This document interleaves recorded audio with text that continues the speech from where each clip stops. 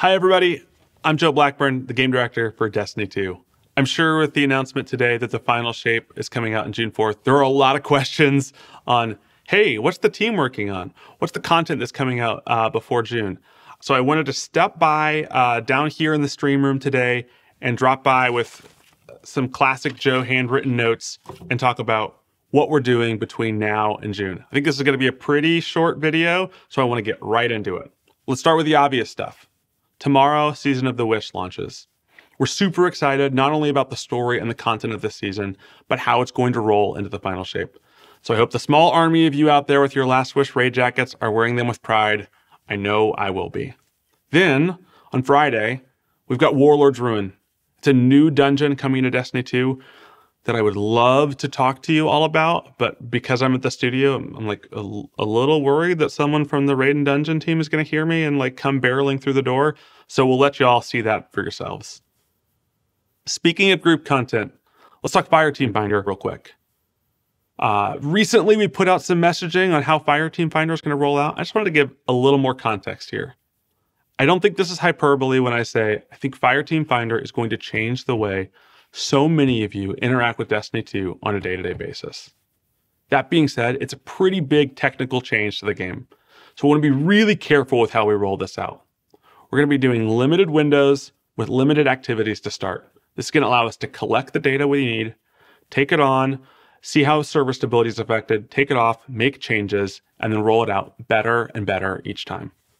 Ultimately, what we're going to be working towards is a version of Fireteam Finder that you can use for raids, dungeons, strikes, PvP, whatever you want that needs a group uh, in the new year and right before the final shape.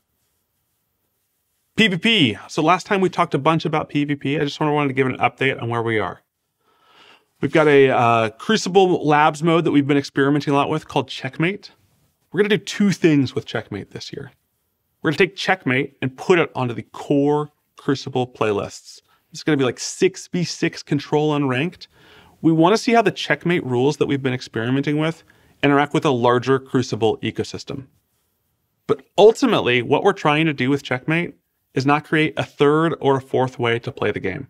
Checkmate is all about a more deliberate crucible. So we want to take the rule changes for Checkmate, be this slower ability recharge rate or you know, different rules around special ammo. We want to find the stuff that's working and we want to start porting those rule changes over into the core Destiny 2 Crucible. This is about creating a Crucible that is more strategic, is more focused on your guns, and is more focused on the loadout that you're bringing in to fight with. Speaking of Crucible, let's talk maps. Um, so not only do we have the Citadel coming to Destiny 2 this week, we also are still cranking out uh, maps for the map pack that we talked about earlier this year. This is going to be coming out in the new year all at once. We've got three maps, one on Europa, one on Neomuna, and one on the Terraform Pyramid. I actually got a chance to play test these again yesterday. Um, I'm really excited about all of them. I think I did the best on the Europa map, but right now, I think Neomuna is trending to be the sort of internal favorite. Really excited to see how all these get built and continued over development. Um, really uh, excited for them to get in your hand. They're all sort of uh, Jav 4 size. So we know we've been putting out a lot of larger maps. We want to put out maps that are going to be able to really excel in modes like Trials of Osiris and the competitive playlist to really balance out both these larger experiences and more, uh, you know, close quarters experiences as well. Ultimately, this is not everything that we're doing in PvP, so keep your ear out for socials. We're trying to make sure that the Destiny 2 Crucible is built for those folks that love to log on and play Destiny PvP every single day. All right, let's see what's on page two here. I think the big question in everyone's mind is okay, but Season of the Wish content is going to roll out. Talk to me about February through June. So, starting in February, we're going to be rolling out more content that's available to anyone who plays Destiny 2.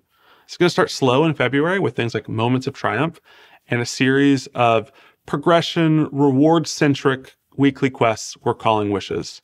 I'll let the folks on Reddit theorize on what they think these wishes could be.